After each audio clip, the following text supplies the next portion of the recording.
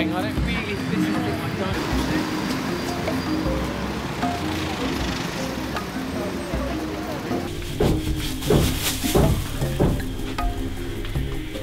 This is. I didn't want to tell people. I just fell into it.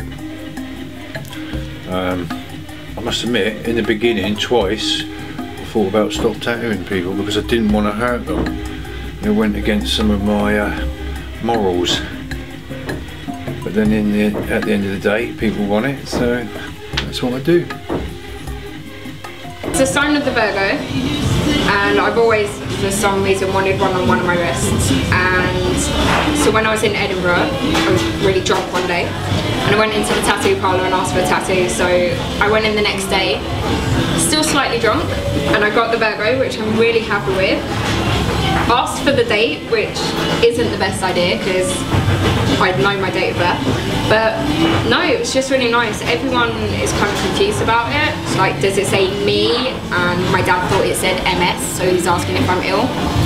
But I don't know, I like it because my other tattoo as well, I can hide. So when I need to, it's just me, really, personal. Um, my tattoo uh, is a needle and a thread and I got it because I got onto my BA Honours fashion degree like a few years ago so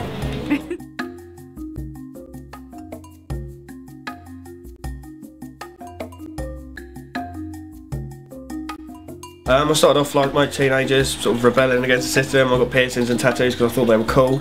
But the deeper I looked into it online and in the actual body modification circle, you find a real sense of openness with people. There's definitely a subculture there that I really got into as opposed to the look, it was just the quality of people.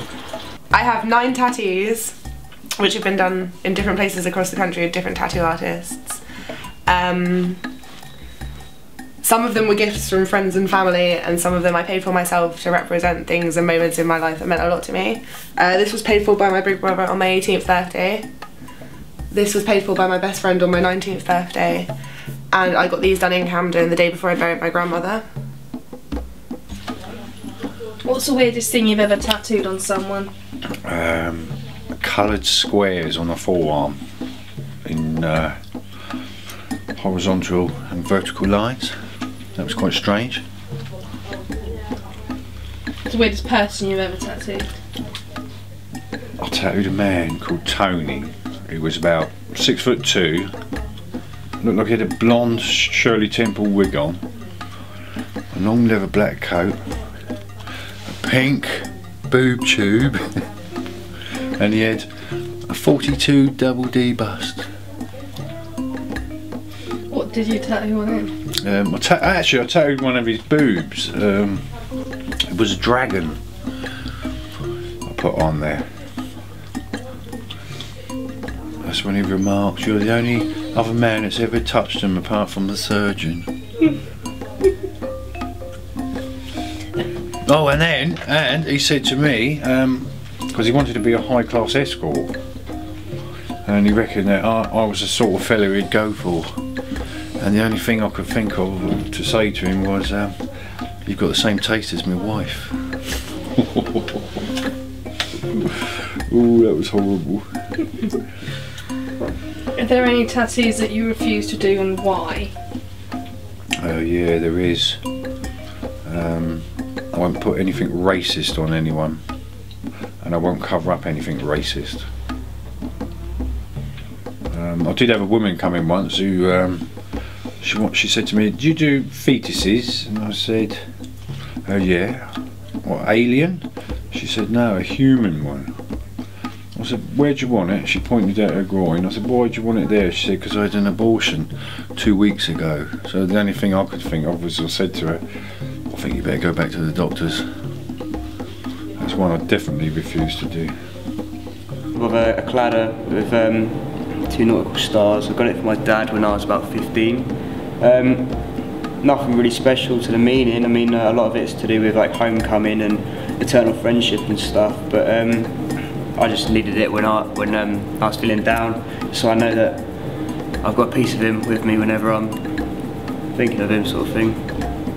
Do you think people's attitudes to body modification is changing? Oh yeah. Um, I think everyone wants to be trendy.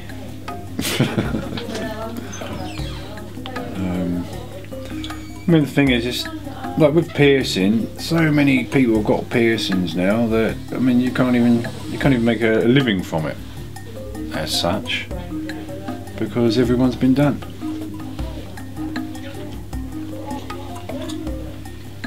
How do people react to being a tattoo artist? Um, well, years ago, it was uh, it was quite um, an impressive job as such. But nowadays, I mean, for forty pound, you can do what I do.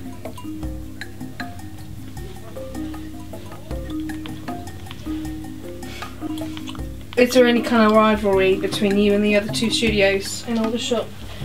Uh, yeah, there's always going to be rivalry, isn't there? The same with football teams, isn't there? You know, there's so many teams. There's loads of rivalry. You get it everywhere, don't you? Rivalry, whatever you do. So I guess the answer is yes, there is. oh right.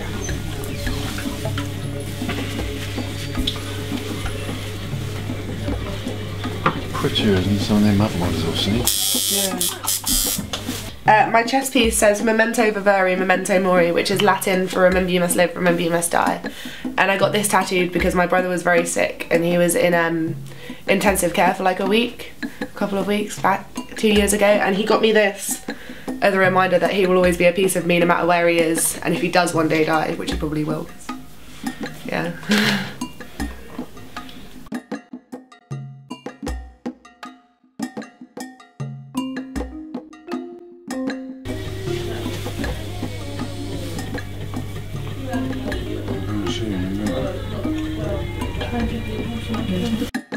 I think body modification is important because it makes people unique and using art on their bodies to tell stories of their lives is something that I feel very passionate about.